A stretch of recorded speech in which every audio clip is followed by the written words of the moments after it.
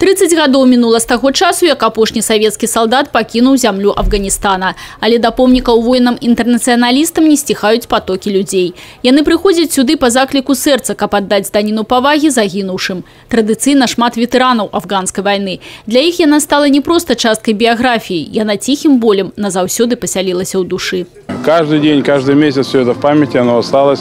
И видел смерть и погибших, и друзей, и товарищей, и солдат. Это все тяжело на душе, остается до сих пор в памяти. Незабываемо. Вот честно, все перед глазами буквально. В голове было одно Как бы семью увидать и все. А политики никаких слов там не было. Все, каждый выполнял свои обязанности. Я правильно, Сережа, говорю? Абсолютно. Выполняли свои обязанности. Не думали, как сейчас говорят, зачем туда мы поехали, что мы там делали. Мы делали то, что нам было приказано. 5 тысяч ураджэнцаў Брыскай вобласці прайшлі афганскае пекла. 117 так і не вярнуліся дамоў. У Брысце 28 сем'яў страцілі ў афганскай вайне сваіх сыноў, мужоў і бацькоў. Яны побач, на партрэтах, назаўсёды маладыя. Была необъявленная война, в которой гибли наши солдаты, офицеры. Но жизнь продолжается.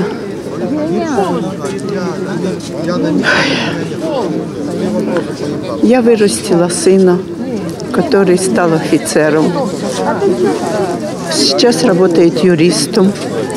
У меня три внучки. И хочу, чтобы было мирное небо над нами.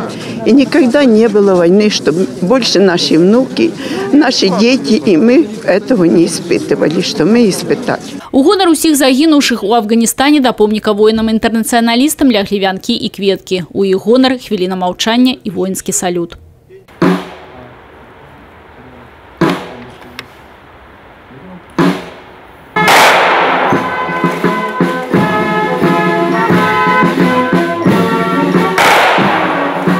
Каждый год, вы видите, идет поток людей к нашему памятнику э, в парке воинов-националистов. Да, нас сплачивает этот день.